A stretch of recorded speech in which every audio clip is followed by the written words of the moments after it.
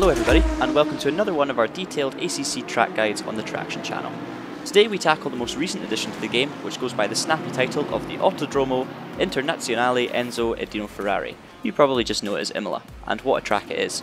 Despite its 14 year hiatus from the Formula 1 calendar, Imola has never stopped hosting a massive variety of top level motorsport, from touring cars to superbikes and of course GTs. It's a dynamic circuit that you really have to attack to get the most out of on most sims, and the Assetto Corsa Competizione is definitely no exception. It's only appropriate then that we have selected the new 2020 Mercedes AMG GT3 as our weapon of choice, as it was released on the same day and is the perfect car for launching an aggressive attack on a circuit. Let's jump into the analysis, and spoiler alert, get ready to hear the word curb a lot. As you cross the start line, tuck yourself in nice and close to the pit wall to shorten the so-called straight as much as possible. Drift over to the left, and again as the track kinks to the left, shorten it as much as you can. As you exit the kink, you need to drift back over to the right hand side of the road to prepare yourself for the Tamburello chicane. Start braking just as you pass the orange paint on the wall signalling the access road.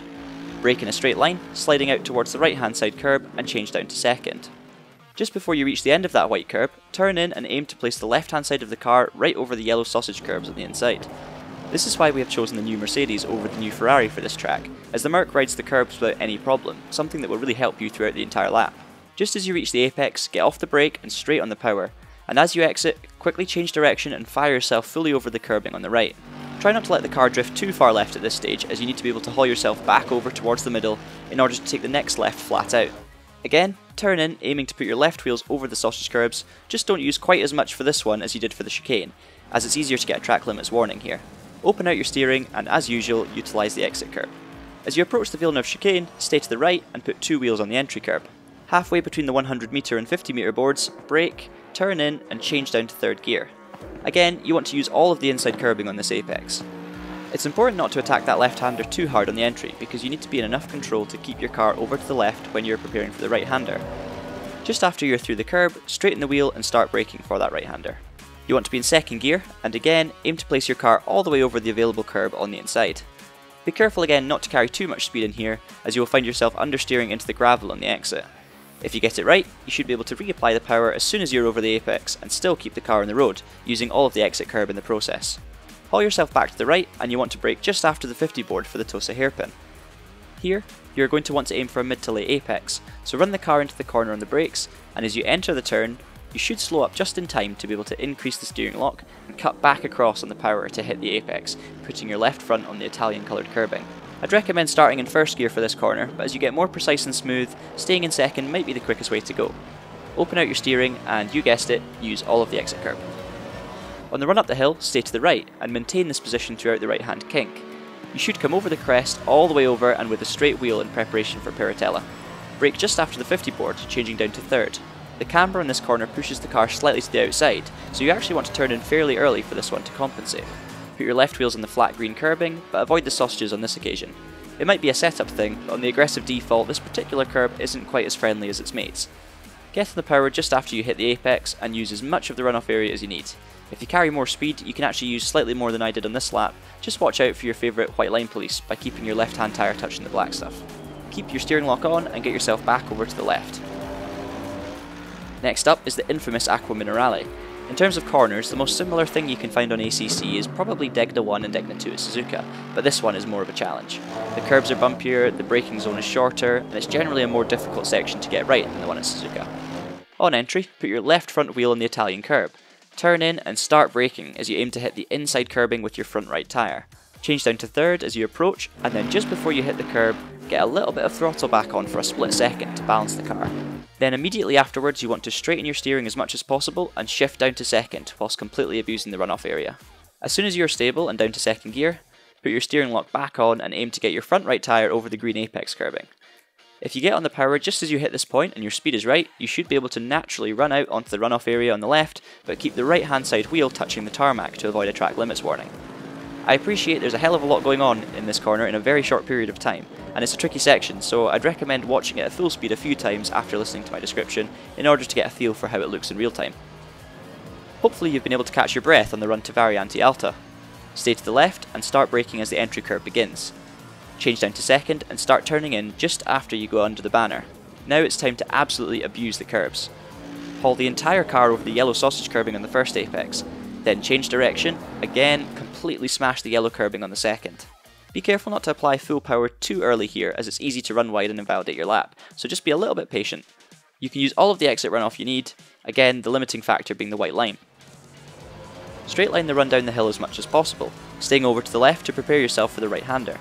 Keep it pinned and use the inside curbing to set up the braking zone for Rivazza 1. This corner is pretty horrible. It's slow, off camber, and the downhill braking zone makes it a very tricky approach. All the reason then to get around it as quickly as possible and make it go away. As soon as you straighten the car up after the kink, start braking hard. If you want a specific reference point to look for, the 100 meter board is probably the most appropriate. As you get close to the corner, turn in nice and early to compensate for the camber. Still on the brakes, change down to second and aim to put your left wheel on the apex curb. I was a tiny bit wide on this lap, so had to delay getting on the power slightly, but if you maximise the inside curbing, you can squeeze back on the power soon after and it will find you another tenth or so. Use the exit curbing, and before you reach the end of it, get back on the brakes and turn in for Rivazza 2. Here, you want to hit the curb on the inside once again, and depending on setup, you can probably use the yellow sausage curbs as well. Get on the power nice and early, use the exit curb as always, and stay right as you fire down the pit straight, cutting the kink after the pit entry. And that is the end of our lap around the magical Imola. Now let's play you it at full speed to give you an idea of how that all flows together.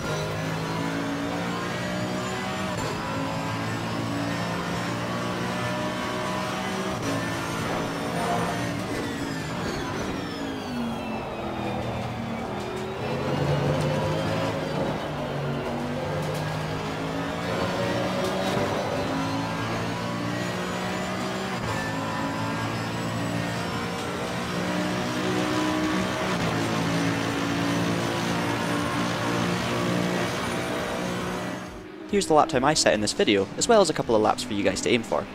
AM is a good starting place to be when you're learning the circuit, Pro AM is good for online racing, and the Pro time is the kind of time you'd expect the aliens to be setting in a qualifying session online. So that concludes our track guide for Imola. As it's the newest track on the game, it's worth giving it a go in a few different cars before choosing which to use for a race. The Mercedes seems a sensible pick, giving all of the curb abuse, but I'm sure there are others that suit different parts of the track even better. Either way, it's huge fun in whatever you drive. Just before I leave you, here's my 10 second tips for mastering Imola. Abuse the curbs through Tamburello, abuse the curbs through Villeneuve, late Apex for Tosa, abuse the curbs for Piratella, abuse the curbs for Acque Minerale, and practice a lot. Abuse the curbs at Variante Alta to the point where you might as well ignore the corner, survive Rivazza, and abuse the curbs while you do so. Nailed it. Thanks as always for watching, and we really hope you're getting something useful out of this series. If you have suggestions for what you'd like to see in the future, be sure to let us know in the comments section below.